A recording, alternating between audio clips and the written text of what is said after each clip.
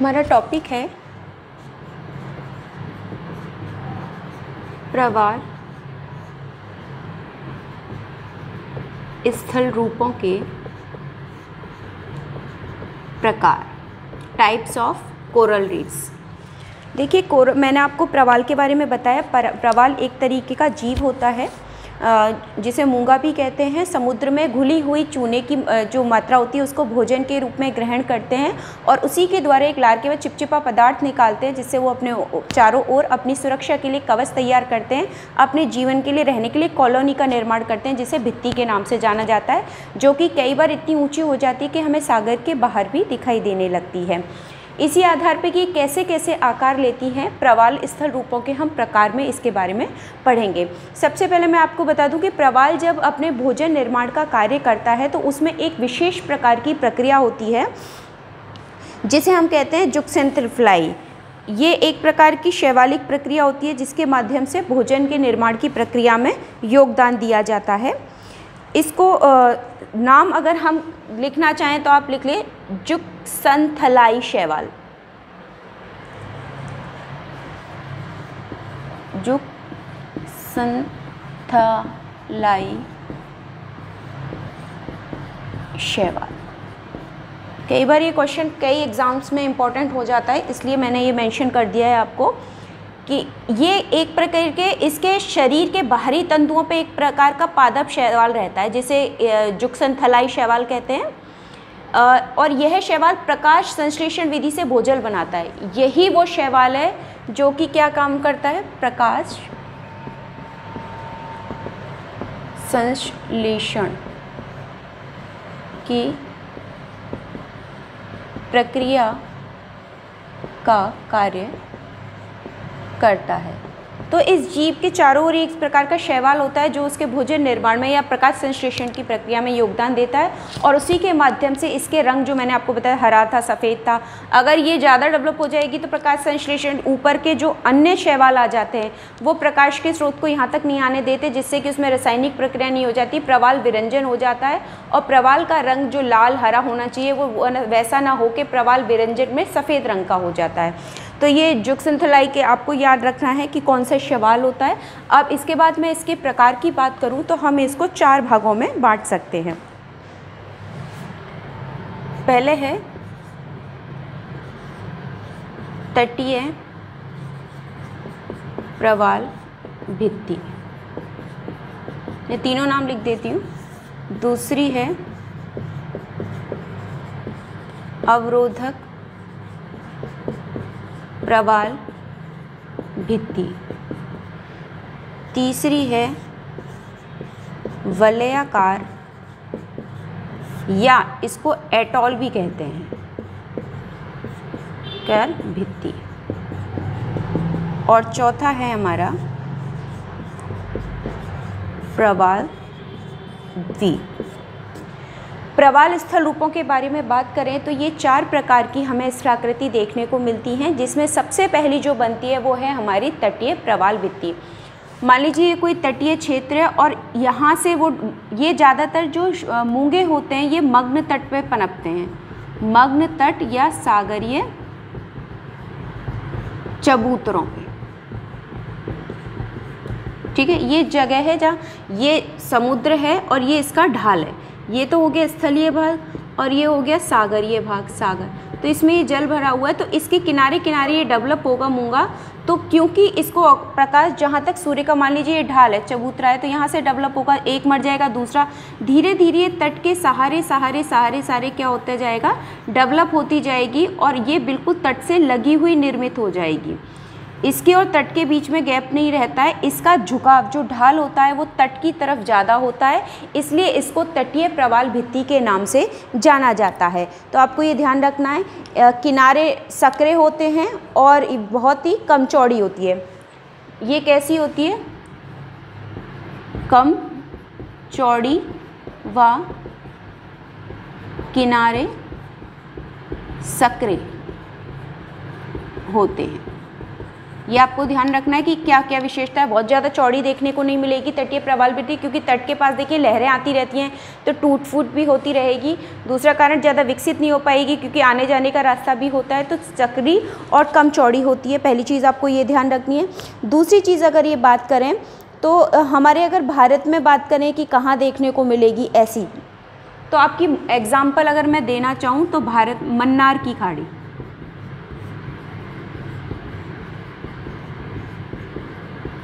भारत में मन्नार की खाड़ी वाला क्षेत्र जो है, जो कि आपके दक्षिण में श्रीलंका और भारत के बीच में जो पड़ता है मन्नार की खाड़ी का क्षेत्र, वहाँ पे इस प्रकार की आपको प्रवाल भित्ति देखने को पाई जाएगी। इसके अलावा बात करें यूएसए के दक्षिण में फ्लोरिडा की। ये तो भारत का उदाहरण हो गया। अगर बड़ी की बात करें तो यूएसए में फ्लोरिडा फ्लोरिडा के पास। ये इसके उदाहरण एग्ज़ाम्पल भी लिख देते हैं तो क्या है मार्किंग अच्छी हो जाती है प्रेजेंटेशन अच्छा हो जाता है। तो तट के नज़दीक जो कि कम चौड़ी और सक्रिय होती है और जिसका ढाल ज़्यादा झुकाव जो होता है, स्थल की ओर होता है, ना कि जल की ओर, उसे क्या कहते हैं हम, तटीय प्रवाल भित्ति के नाम से हम जानते हैं। तो आपको बस इसके बारे में और तो इतना कुछ विशेष है नहीं। तटीय प्रवाल भित्ति के बारे में हाँ इसकी अगर बात करें, भित्ति का निर्माण तट से लगभग 60 मीटर की गहराई से शुरू होता है। अगर इसके निर्माण की बात करें, कहाँ से शुरू होता है? ये तो हो गया तट, और तट से कितनी? निर्माण। तट से 60 मीटर की गहराई से शुरू होता है। उसके बाद क्या होगा? ये धीरे धीरे ऊपर आती जाएगी, तट के नज़दीक लगती जाएगी। तो आपको एग्जैक्टली गहराई भी पता पड़ेगी कि कितनी गहराई से इसका स्थल की ओर विकास होगा। और भित्ति की ऊपरी सतह विषम होगी। विषम मतलब समतल नहीं होगी। सतह कैसी होगी? विषम। मैंने कहा था ना, लहरें चलती हैं, आवागमन होता है तो टूट फूट होती रहती है। ज्वार भाटे भी आते हैं, जिसकी वजह से ये समतल सतह ना होकर उबड़ खाबड़ होती है, इसलिए उसे विषम कहते हैं। तो उसे वो कौन सी हमारी भित्ति हो जाएगी? तटीय प्रवाल भित्ति, पहली भित्ति हो गई हमारी। इसके बारे में अगर बात करें और कुछ विशेषता की तो भाटे के समय भी इसमें कई बार जल भर जाता है। तो मग्न तटों पर स्थित जो भित्तियाँ हैं, वो चबूतरों के समान दिखती है। मान लीजिए तट है और यहाँ मग्न ढाल है। ये स्थल है, ये ढाल है, ये चबूतरा। ये तो हो गया इसका ढाल। ये हो गया चबूतरा। ठीक है, कई बार यहाँ पानी भर जाता है पूरा। तो ये पूरा समतल हिस्सा हमें दिखाई लेने लगता है, लेकिन वास्तविकता में अगर देखा जाए पानी हट जाए तो कैसी सतह रहती है? विषम। तो ये हो गई हमारी कौन सी? तटीय प्रवाल भित्ति के बारे में जानकारी होगी। दूसरी बात कर रहे हैं अवरोधक। देखिए, शब्द में क्या है? अवरोध। बीच बीच में अवरोध होंगे या कंटिन्यू चलेगी बीच बीच में से टूटी हुई होगी। तो अवरोधक प्रवाल भित्ति कैसी होगी? ये तट से थोड़ी सी दूर होगी। मान लीजिए स्थलीय क्षेत्र और ये हमारा सागरीय क्षेत्र है, सागर। ठीक है? और इसमें क्या भरा हुआ है? जल। तटवर्ती में देखिए, बिल्कुल मैंने तट से सटा के बनाई है। इसमें क्या है? तट से दूर, लंबी समानांतर, तट के समानांतर। ये तट है और तट के समानांतर समानांतर ये चलती है। लंबी होगी, तट के समानांतर, कुछ चीज़ें आपको ध्यान रखनी है इसमें, अवरोधक में तट के समानांतर निर्मित होती है। पहली चीज़, ठीक है? ये तो हो गई हमारी किसकी? हम बात कर रहे हैं अभी अवरोधक प्रवाल भित्ति की। तो तट के समानांतर विकसित होती है ये, और ये भी महाद्वीपीय मग्न तटों पे 60 मीटर से अधिक गहराई पर स्थित होती है। गहराई की बात करें, गहराई 60 मीटर से अधिक गहराई। से शुरू होती है। देखिए, ये तो 60 से हो ही रही थी। ये 60 से भी गहराई में चली जाएगी, क्योंकि जहाँ तक प्रकाश होगा, चूना होगा, वहाँ तक ये जीव पनप जाएँगे। तो 60 मीटर की अधिक गहराई तक ये स्थित होती है। प्रवाल जीवों के अधिक जमाव के कारण आकृति थोड़ी सी क्या हो जाती है? बढ़ जाती है। और इसी को हम क्या कहते हैं? अवरोधक प्रवाल अब देखिए, कई बार क्या होता है? तट तो छोड़ दिया, यहाँ जल बढ़ जाता है। और ये भित्ती बन जाती है पूरी की पूरी। ये भित्ती हो गई और यहाँ जल भर जाता है, जिसे कहते हैं लेगून। लेगून भी नहीं, ज़्यादातर सही नाम है बोट चैनल। ये तटीय में भी बन जाता है, लहरें वगैरह अगर इस जगह को तोड़ देंगी तो थोड़ी सी जगह खाली हो जाती है, जिसमें बोट ज़्यादा प्रवेश कर जाती हैं तो पर्यटन का स्थल भी हो जाता है। ऐसे यहाँ लेगून का निर्माण हो जाता है, कई बार बोट चैनल्स का निर्माण हो जाता है, जो कि एक तरीके की झील होती है और इसको एक पर्यटन के तौर पर बहुत यूज़ किया जाता है। तो अगर बात करें अवरोधक प्रवाल भित्ति तो विश्व की सबसे बड़ी अवरोधक प्रवाल भित्ति की बात करें तो ऑस्ट्रेलिया के के उत्तर, पूर्वी तट के सहारे, और उसका नाम है ग्रेट बैरियर रीफ। ये विश्व की सबसे बड़ी अवरोधक प्रवाल भित्ति है विश्व में सर्वे, सर्वाधिक अगर पाई जाने वाली भी प्रवाल भित्ति है तो वो अवरोधक प्रवाल भित्ति ही पाई जाती है। तो सेकंड हो गई हमारी अवरोधक प्रवाल भित्ति। इसकी थोड़ी सी ये ध्यान रखना है कि कई बार पूछ लेते हैं कि ग्रेट बैरियर रीफ कहाँ पे है? तो ऑस्ट्रेलिया के उत्तरी पूर्वी तट पे है, ये आपको ध्यान रखना है।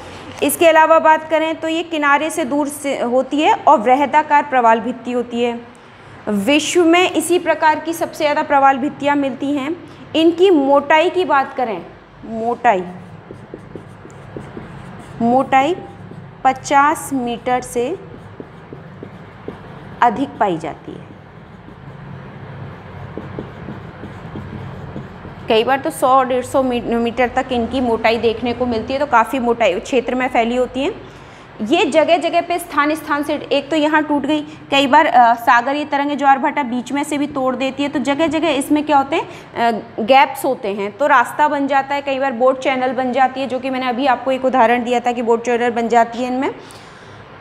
जिनमें लेगून बन जाते हैं। सबसे बड़ी बात आपको बता दूँ कि खुले सागर और महासागरों से इसका संबंध होता है। मान लीजिए यहाँ टूट गया तो इस सागर से आके यहाँ से संपर्क हो जाएगा।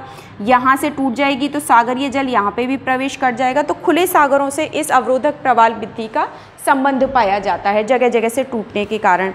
और इन्हीं स्थानों को ज्वारीय प्रवेश द्वार कहते हैं। जब रास्ता ही बन जाएगा तो ज्वार भाटे का पानी आ जाएगा। इस कारण इन क्षेत्रों को क्या कहते हैं? ज्वारीय प्रवेश द्वार। ठीक है? आने जाने का रास्ता बन जाता है एक तरीके से। तो ये आपको ध्यान रखना है, ज्वारीय प्रवेश द्वार किसमें बनता है? अवरोधक प्रवाल भित्ति में बनता है, ठीक है? जिसको बोट चैनल भी कहते हैं। इसके अलावा प्रवाल भित्ति तट के छिछला और जल, ये बहुत गहरा नहीं होगा, जो टूटा हुआ हिस्सा है, ये छिछला। छिछला का मतलब होता है कम गहरा, जिसमें पानी भर जाता है, जिसे लेगून झील या बोट चैनल मैंने आपको कहा था, बताते हैं। और विश्व की सबसे बड़ी मैंने आपको बताई दी थी, ऑस्ट्रेलिया के उत्तर पूर्व के निकट ग्रेट बैरियर रीफ है, या इसको अगर कई बार पूछ ले, क्वींसलैंड के पूर्व में। या तो ऑस्ट्रेलिया के उत्तर पूर्व में लिख दो, या क्वींस लैंड ये भी ऑस्ट्रेलिया के पास के है, के पूर्व में। क्या पाई जाती है? ग्रेट बैरियर रीफ कई बार इसकी मोटाई भी पूछ लेते हैं कि कितनी लंबी चौड़ी है। तो अगर इसकी लंबाई बात करें 1920 मीटर लंबी है।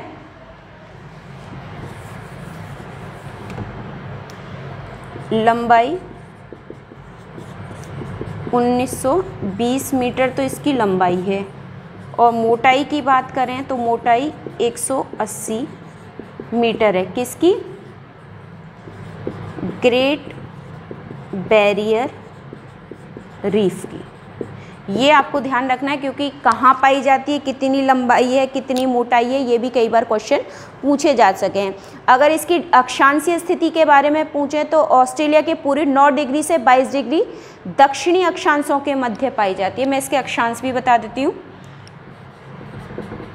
ऑस्ट्रेलिया के के पूर्व में 9 डिग्री से 20 डिग्री दक्षिणी अक्षांशों के मध्य यह भित्ति अवस्थित है। ठीक है? अक्षांशीय विस्तार भी। अगर हमें कोई एक्स्ट्रा जानकारी मिले तो उसे पढ़ने में। और मैं आपको बता दूँ, कई जगह आपको 20 नहीं है। एग्जैक्टली exactly क्योंकि टुकड़ों में आगे तक है तो इसको 22 ध्यान रखना है। ये सही रेशो है आपका। 9 से 22 डिग्री अक्षांशों के मध्य, ये दक्षिण अक्षांशों के मध्य पाई जाती है। और लगभग 2000 किलोमीटर की लंबाई में 1920 या 2000 बात एक ही है, इतनी लंबाई में ये विस्तृत मिलेगी। और इसके बारे में मेन तो यही है। कि कहाँ कहाँ हैं किन किन क्षेत्रों में तो ये आपको ध्यान रखना है, ऑस्ट्रेलिया के पास है। अगर आपसे दूसरी सबसे बड़ी अवरोधक प्रवाल भी थी पहली तो ये विश्व की, और दूसरी पूछी जाए सेकंड नंबर पे कौन सी है? प्रशांत महासागर में न्यू कैलोडोनियन। ये इसका तो पहला नंबर है, और दूसरी नंबर पे है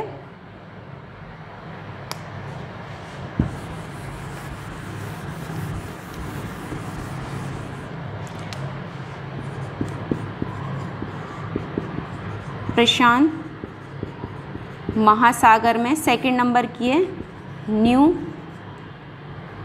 कैलोडोनियन भित्ति, ये भी क्या है? अवरोधक प्रवाल भित्ति है। तो हमारे पास दो पहले नंबर पे, ऑस्ट्रेलिया के उत्तर पूर्व में ग्रेट बैरियर रिफ और सेकंड नंबर प्रशांत महासागर में न्यू कैलोडोनियन भित्ति। ये हमारी अवरोधक प्रवाल भित्ति के उदाहरण हैं। अगली है हमारी वलयाकार प्रवाल भित्ति या जिसको एटॉल। एटॉल का मतलब होता है अपने इंग्लिश के सी लेटर या घोड़े की नाल, जिसे अपन कहते हैं। घोड़े की नाल, देखिए, पैर में ठोकते हैं लोहे की तो वो सी अक्षर जैसी होती है। तो किसी द्वीप के सहारे सहारे ये किनारे किनारे विकसित होती है और बीच में से लहरों के माध्यम से कई बार टूट जाती है। तो इसका जो शेप बनती है, वो कैसी बनती है? इस प्रकार की बनती है, इसलिए इसको वलयाकार, कई बार ये पूरी की पूरी विकसित भी हो जाती है। ऐसा नहीं कि आधी रह जाए, कई बार बढ़ते बढ़ते इसके किनारे दोनों तरफ़ से मिल जाते हैं और तो पूरा वलय गोला बना लेती है तो इसलिए इसको वलयाकार, कार भित्ति भी कहते हैं। और अगर आधा बनाए तो इसे क्या कहेंगे? एटॉल। इसकी पहचान क्या होती है? इस पर ताड़ के वृक्ष लगे होते हैं। ताड़ के वृक्ष आपको दूर से ही देखने को मिल जाएँगे। एटॉल के सामने तो ये इसके सबसे अच्छा उदाहरण है कि कौन सी एटॉल है। इसको प्रवाल वलय भी कहते हैं। किसी भी द्वीप के चारों ओर अंडाकार रूप में घोड़े की नाल की तरह घूमती मिलती है। और जिसके बीच में कई बार क्या होता है कि पानी बढ़ जाता है। मान लीजिए बीच बीच में से टूट गई और इसमें क्या होगा? जो बाहर का ये सागर है या महासागर है? सागर या महासागर का जल अंदर घुस जाएगा तो इसमें क्या बन जाएगा? पानी बढ़ जाएगा तो क्या बन जाती है? लेगून झील बन जाती है, जिसमें बोटों के माध्यम से परिवहन, पर्यटन का कार्य किया जाता है। बहुत ही खूबसूरत देखने को लगती है देखने में, क्योंकि समुद्र में एक अलग से एक छोटा सा क्षेत्र बन जाता है द्वीप के चारों ओर तो बहुत ही खूबसूरत लगता है। और इसकी सतह पर ध्यान रखिए ताड़ के वृक्ष विशेष रूप से पाए जाते हैं। अगर विश्व में बात करें कि सर्वाधिक प्रवाल एटॉल किस महासागर में पाई जाती है तो विश्व में सर्वाधिक एटॉल प्रशांत महासागर में पाए जाते हैं।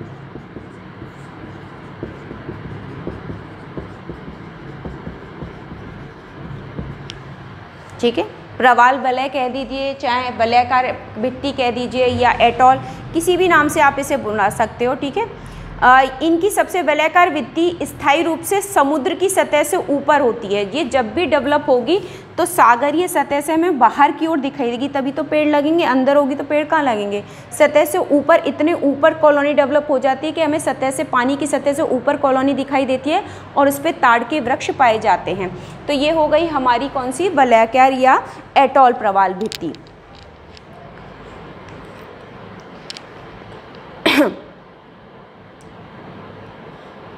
इसमें लेगून की जो गहराई होती है 80 से 140 मीटर तक पाई जाती है, अंडाकार भी बन जाती है। इसके उदाहरण है, मैं आपको एग्जांपल दूँ, जैसे फिजी द्वीप है फॉर एग्जांपल कैसे बने हुए हैं फिजी द्वीप इसका बहुत अच्छा उदाहरण है फिजी द्वीप जो कि एटॉल निर्मित है। इसके अलावा फुनाफुटी फुनाफुटी द्वीप आदि। तो इससे निर्मित द्वीपीय क्षेत्रों की बात करें तो वो अपने कौन से हैं? ये अपने क्षेत्र प्रशांत महासागर वाले क्षेत्र में भी आ जाते हैं कुछ अंदर महासागर वाले में। इसके अलावा आ, हमारे मैंने बात की थी चौथी चीज़ की जो चौथा अपना नाम आता है उसमें आ जाता है हमारे द्वीप। तो द्वीप के लिए अगर आपको उदाहरण दिया जाए तो प्रवालों से द्वीपों का जो निर्माण होता है वो महासागरों में किसी ज्वाला मान लीजिए ये मैं इसकी द्वीप की उदाहरण आपको देती हूँ। ये हमारा कोई महासागर है, ठीक है? इसमें जल भरा हुआ है, महासागर। जैसे हमारे धरातल पे ज्वालामुखी पाए जाते हैं, ऐसे ही समुद्र में क्या पाए जाते हैं? ज्वालामुखी। तो ये उस ज्वालामुखी ज्वालामुखी,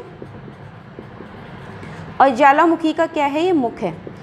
इसके मुख पे जब लावा निकलना बंद हो जाता है तो ठोस हो जाएगा तो अब आप देखिए, जिस मूँगे को यहाँ से विकास करना था, नीचे आ गया प्रकाश यहाँ तक, लेकिन अब उसे इतनी दूरी चलनी ही नहीं पड़ रही उसको बना बनाया क्या मिल गई, नींव मिल गई तो वो यहीं पे आके तो विकास करेगा। विकास करेगा तो वो जब एक के बाद एक मरते जाएँगे तो उनका निर्माण बहुत जल्दी क्या आ जाएँगे सागर ये सतह से ऊपर वो डेवलप हो जाएँगे, बजाय नीचे होने के।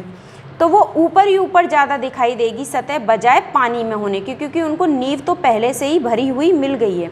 इस वजह से उनका विकास सतह के जल की सतह के ऊपर ज़्यादा होता है।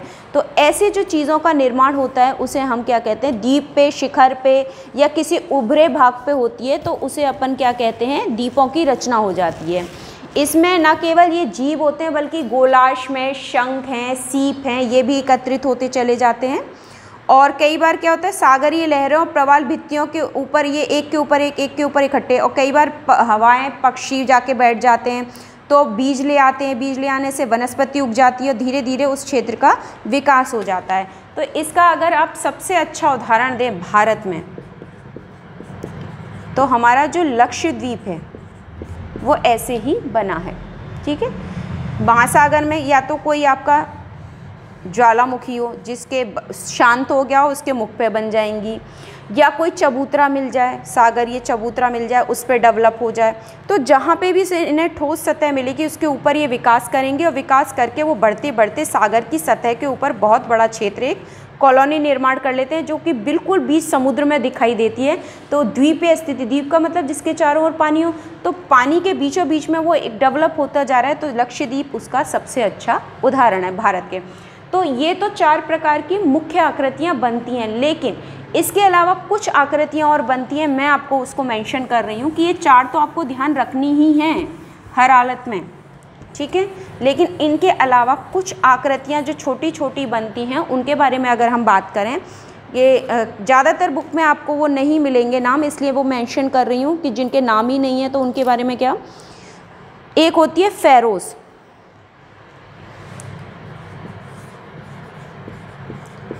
फेरोस देखिए वलयकार प्रवाल भित्ति का ही जो पूरा सर्कुल गोल बन जाए, आधा ना बन के एटॉल में तो आधा बन रहा था इतना, सिर्फ़ इतना।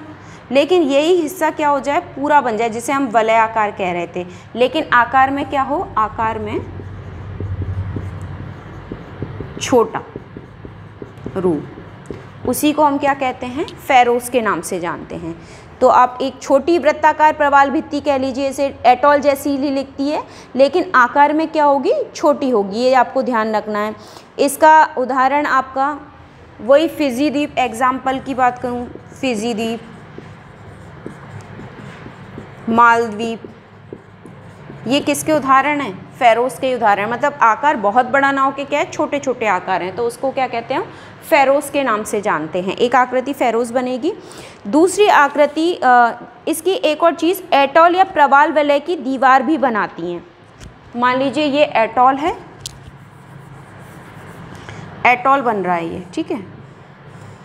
और जब ये बन रहा है तो बीच बीच में से टूट फूट भी मैं कह रही थी होती है तो बीच बीच में इनकी दीवारों के बीच में डेवलप होनी शुरू हो जाती है तो इस दीवार को क्या कर देती है? स्ट्रॉन्ग कर देती है तो दीवार को स्ट्रॉन्ग करके एक भित्ति को लंबे दूरी तक ले जाती हैं। तो इसी को हम क्या कह देते हैं? फेरोस के नाम से जानते हैं। दूसरी इसमें आती है पेच या पिनेकल भित्ती। छठी है। पेच या पिनिकल भित्ति। ठीक है? अब इसी क्या होती है? देखिए, ये प्रवाल के ढेर होते हैं। एटॉल की जो लेगून होती है, उसमें प्रवाल भित्ति में पीछे की ओर विकसित होने वाली दीवारें होती हैं। ये एटॉल है दोबारा से, ठीक है? और ये ये जो लेगून है, मान लीजिए ये इतना आ गया, एटॉल यहाँ तक आ गया और एक हिस्सा खुला रह गया तो इसमें पानी भर जाएगा। तो ये क्या बन जाएगी? लेगून। तो लेगून के जो पीछे वाली दीवार है, इसके किनारे किनारे विकसित होते हैं, ऐसे। सहारे सहारे सहारे। तो इसको हम कहते हैं पिनिकल या पेंच। ठीक है? पिनिकल या पेंच भित्ति। तो आपको दो फेरोस हो गया पेच और पिनिकल हो गया एक होती है मैक्सवेल। सातवीं होती है मैक्सवेल। भित्ति। इसके दो टाइप हैं। महासागरीय भित्ति, एक सॉरी मार्कर और मग्न तटीय भित्ति। मग्न तटीय भित्ति, इसके दो प्रकार हैं। महासागरीय भित्ति, जिसका ढाल महासागर की ओर ज़्यादा हो, उसे महासागरीय महासागर की जो तली होती है, उससे 100 मीटर से अधिक ऊपर उठ जाती है। महासागरीय भित्ति में तो आपको ध्यान रखना है, यह है सागर तल से 100 मीटर से अधिक ऊपर उठ जाती है। तो इसका उठाव इतना होता है कि दूर से ही ये स्पष्ट दिखाई दे जाती है तो जिसे कहते हैं महासागरीय भित्ति। और दूसरी हमारी है मग्न, जो छिचले जल में, महासागरों में। ये तो गहरे जल में बनेगी। और ये कहाँ बनती है? छिचले सागरीय क्षेत्र में यह बनती है। मतलब छिछले का मतलब हो गया कम गहरा, मैंने आपको ढाल बताया ही था। तो वहाँ पे भित्ति जो बनेगी तो वो कम गहराई में, ये बहुत गहराई तक मिलेगी कम गहराई में मिलेगी। तो एक तरीके से ये तटीय प्रवाल भित्ति का ही उदाहरण ले सकते हैं। तो इस तरीके से देखिए, मुख्य तो ये चार हैं, लेकिन छोटे छोटे रूप में फेरोस पेच और मैक्सवेले भित्ति भी ये हो गए हमारे प्रवाल स्थल रूपों के प्रकार।